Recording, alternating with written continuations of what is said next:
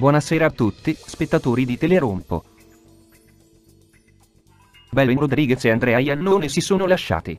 Il gossip più succulento di fine autunno è servito. A quanto pare i due avevano diverse visioni sul futuro.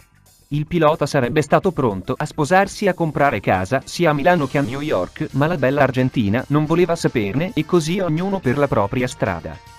Adesso Belen avrebbe voglia di dedicarsi solo al figlio Santiago avuto con Stefano De Martino che, secondo alcuni rumors, passerebbe molto tempo a casa della ex compagna.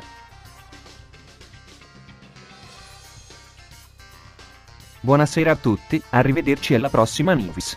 State bene e fate sempre del vostro peggio. A presto.